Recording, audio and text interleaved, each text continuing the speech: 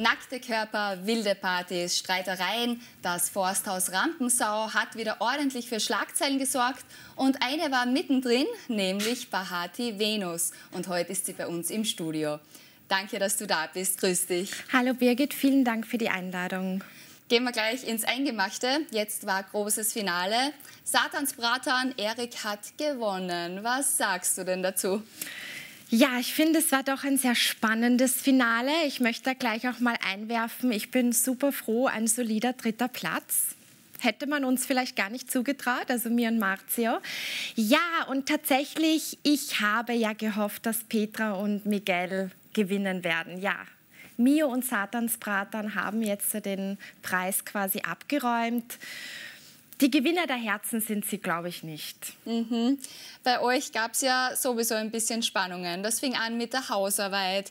Und ich glaube, ihr wart euch nicht gar so sympathisch. Liege ich da richtig?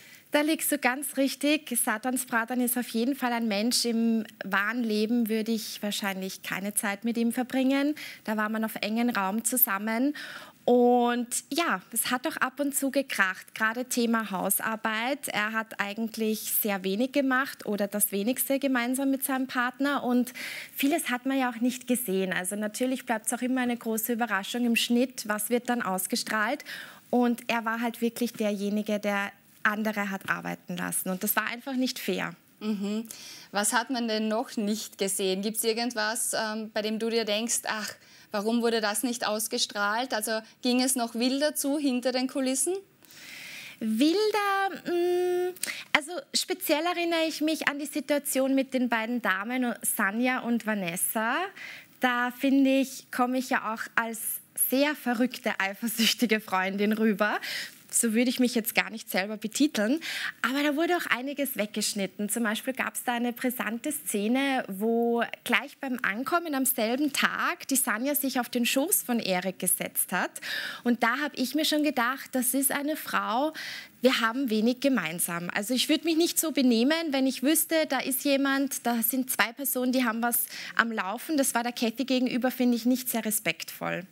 Mhm, du hast auch einmal irgendwas in die Richtung gesagt, ähm, dass man sich so nicht benimmt. Also das hat man dann gesehen und genau. man hat sich tatsächlich gedacht, ja, du bist jetzt eifersüchtig, aber das heißt, das hatte deiner Meinung nach schon seine Gründe, auch im Nachhinein. Auf jeden Fall hatte das seine Gründe. Sie haben ja auch geplant, im Bikini vor Marzio zu tanzen. Also sehr, sehr provokant. Warum, warum muss man sowas machen? Mhm. Mhm. Wer hat das gesagt? Ich glaube, der Daniel Köllerer war es, der gemeint hat, der Marzio ist so ein bisschen unter deiner Fuchtel quasi, also du hast quasi das Sagen. War das eher deshalb, weil es diese Sprachbarriere gab oder hast du tatsächlich das Sagen in der Beziehung? Also ich wurde auch gefragt, wer hat denn die Hosen an in eurer Beziehung? Und ich würde sagen, wir beide haben die Hosen an. Also das ist eine Beziehung auf Augenhöhe und der Daniel hat einfach maßlos übertrieben. Natürlich ist es anders. Wäre das Ganze auf Italienisch gewesen, dann hätte Marzio sicher noch viel mehr gesagt. Aber da, wo es wichtig ist, hat er ja auch was gesagt. Ja. Also, ja. Und mit dem Daniel gab es auch ein bisschen Stress. Also ich muss dazu sagen, ich schätze dich eigentlich als sehr harmoniebedürftig ein, aber da waren doch ein paar Leute dabei, mit denen du nicht so konntest. Wer war denn der oder die Schlimmste? Also ich bin froh, dass du das sagst, weil ich würde auch sagen, dass ich eigentlich ein sehr umgänglicher Mensch bin. Aber ich wurde wirklich sehr provoziert und dann ist auch mal die Brina, wie ich sie nenne, in mir rausgekommen und die hat dann einfach Tacheles geredet. Am schlimmsten für mich, also am schwierigsten war es ja tatsächlich mit Daniel und Erik und Mio hat sich, finde ich, immer sehr angeschlossen dem, was Erik gesagt hat. Ja, das waren so die drei, mit denen ich nicht nicht so gut konnte. Mhm. Ja, Tamara ist wieder ein ganz eigenes Thema, muss ich auch sagen. Dazu ja. kommen wir, ja. wir gleich zur Tamara. Ja. Ähm, für die, die es nicht gesehen haben, sie hat einen Ausspruch verwendet, den man einfach nicht mehr sagt. Das ist indiskutabel. Du hast dann gesagt, sowas sagt man nicht mehr, hast eigentlich recht cool reagiert, aber sie einfach darauf hingewiesen. Hat sie nicht ganz so verstanden, habe ich den Eindruck. Gab es da eine Entschuldigung von ihr? Hast du das Gefühl, sie war einsichtig oder hat sie zu dir, ist sie nachher noch auf dich zugekommen? Wie ist das weitergegangen? Ich habe das Gefühl, dass sie gar nicht einsichtig war. Ich habe auch, finde ich, ziemlich sachlich ihr erklärt, warum und dass man das halt nicht sagen sollte. Es gab keine Entschuldigung.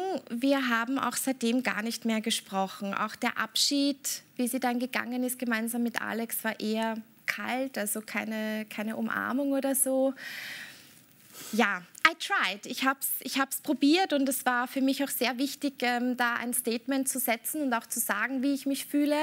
Und wenn sie es noch immer nicht verstanden hat, dann fürchte ich, kann ich ihr auch nicht helfen. Aber ich hoffe, dass das doch sie zum Denken anregt und zumindest, dass sie das in gerade am besten gar nicht mehr verwendet, das Wort, aber gerade auch in Gesellschaft von Menschen, die es persönlich trifft. Ja. Und dann kommen wir noch zu Katie.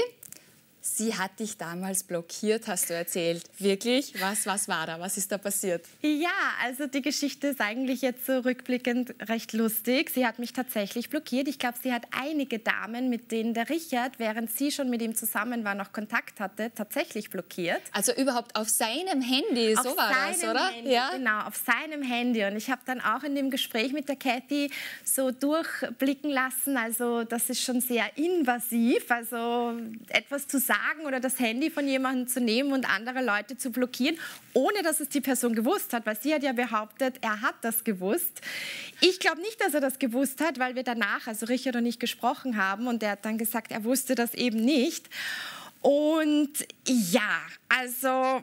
Und warum? Weil sie so eifersüchtig war, oder wie? Ja, ich glaube, sie war sehr eifersüchtig und der Richard ist halt doch auch ein Lebemensch, sage ich jetzt mal, der gerne auch Kontakte mit Damen pflegt und wahrscheinlich, wie sie dann mit ihm verheiratet war, war ihr das zu viel. Du hast nämlich auch gesagt, wenn ich das richtig in Erinnerung habe, du hältst sie für berechnend oder so ähnlich. Also ja. du passt schon auf bei ihr. Ist das ja. immer noch der Fall?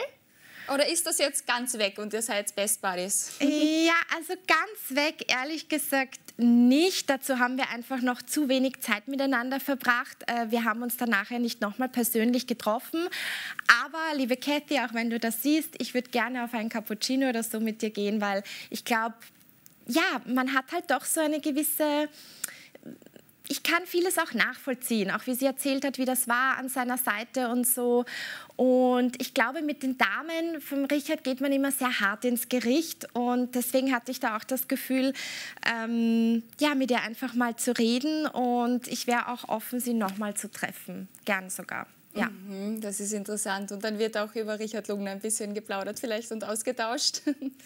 Ja, wobei der Richard ist ja nicht das Allerwichtigste auf dieser Welt. Also wir haben sicher auch noch andere Themen, über die wir sprechen. Ja. ja. Kommen wir noch einmal zum Marzio weil das ist ja der aktuelle Freund seit vier Jahren, glaube ich, ungefähr. Seit viereinhalb Jahren, mhm, ja. Natürlich. Ja. ähm, jetzt beim Auszug war so ein bisschen die Frage, so verliebt, verlobt, verheiratet. Ist da schon was in Planung? Tatsächlich habe ich ihm ja ein Ultimatum gestellt. Und ich hatte ja im November jetzt Geburtstag und ich habe ihm gesagt, ich würde mir jetzt schon wünschen, bis zu meinem Geburtstag, dass da was passiert. Und ja, also eigentlich haben wir ausgemacht, uns nicht ähm, jetzt großartig darüber zu äußern, aber ich kann euch ja mein Geburtstagsgeschenk zeigen. Ui, ein Verlobungsring. Wunderschön. Das hast du toll kombiniert. ja. Aber hallo. Ja, ja gratuliere ja, herzlich. Dankeschön. Dankeschön. Ja, sehr schön. Das ja. heißt, ja, das ist jetzt eine große Überraschung tatsächlich. Ich freue mich für euch. Wann ist soweit? Hab schon, seid jetzt schon in den Vorbereitungen? Wie geht's weiter? Wir haben schon ein, ein, ein Datum eingepeilt, aber wie gesagt, dazu möchte ich mich jetzt gar nicht zu, zu viel äußern, aber wir sind sehr glücklich. Ja, sehr cool. Freue ja. mich für dich. Dankeschön. Und wie geht es bei ihm beruflich weiter? Hat er jetzt ein bisschen Blut geleckt mit dir mit dem Reality TV oder sagt er, nein, das will er jetzt nicht mehr machen? Also es ist eine große Überraschung. Er wäre auch bereit für ein, ein nächstes Projekt. Oh. Ja, also es war Gott sei Dank nicht so abschreckend, dass er gesagt hat, du, ganz ehrlich, never ever. Mhm. Er ist offen auch für neue Projekte und ich freue mich, dass er da ja, das auch ähm, ja, Blut geleckt hat und es ihm gefallen hat. Ja, was wären denn so die nächsten Formate? Oder muss ja nicht zu zweit sein. Für dich, Reality TV ist ja immer, also das Dschungelcamp hat man auf jeden Fall so am Schirm. Wäre das was für dich? Würdest du auch ins Dschungelcamp gehen? Um, also natürlich so unter den Trash-Formaten ist das die Königsklasse, einfach auch wegen der Reichweite. Jeder kennt das Dschungelcamp. Ich glaube, für mich persönlich wäre das eine sehr, sehr große Herausforderung. Ich könnte mir auch vorstellen, noch ein weiteres Format gemeinsam mit Marzio zu machen. Und das, was mir halt auch am Herzen liegt, ist einfach die Musik. Und irgendwas, wo halt auch die Musik Platz findet, das wäre so mein ganz großer Traum. Ja. ja. das ist nämlich auch ein spannendes Thema, weil du hast ja schon öfter gerappt, du hast deine Musik nicht erst seit gestern, aber im Forsthaus hat man dich auch rappen gesehen und gehört. Willst du darauf wieder mehr den Fokus legen? Auf jeden Fall möchte ich den Fokus auch jetzt noch mal mehr auf die Musik legen, weil die Musik mich einfach so erfüllt. Ich fand es auch so schön. Wir wussten ja nicht, dass jetzt Solo, also mein Song, gespielt wird. Und dieser Song hat auch so viel Message. Und ich weiß, ich habe den geschrieben zu einer Zeit, wo es mir nicht so gut ging. Und es ist auch so schön, manchmal gibt es dann einfach Lieder von mir, die sagen alles, was ich sagen möchte, so kompakt. Und das hat so gut gepasst. Und ich habe auch einen neuen Song in Berlin aufgenommen, der wird auch dieses Jahr noch released. Und große Überraschung, ein Liebeslied. Und ich kann euch schon den Titel verraten oder vielleicht kommst du sogar drauf. Wie könnte der heißen? Ein Liebeslied für Marzio hat was mit unseren Kosenamen zu tun, wie wir uns gegenseitig. My Love. Natürlich. Na bitte, natürlich. natürlich. ja, Ja, das hat man natürlich gesehen. Ihr nennt euch gegenseitig immer My Love. Schön, ja. schön. Aber der Marzio singt nicht mit, oder? Nein, nein, nein, okay. nein, der singt nicht mit. Nein, der ist musikalisch nicht so begabt, muss ich dir jetzt auch ehrlich sagen. Aber der wird auf jeden Fall auch im Musikvideo zu sehen sein. Liebe Bahati, ich wünsche dir alles Gute und wir sehen uns bestimmt wieder und vielleicht erzählst du uns dann ein bisschen was, wie die Hochzeitsvorbereitungen so laufen. vielen, vielen Dank und bis zum nächsten Mal, liebe Birgit. Danke, dass du da warst.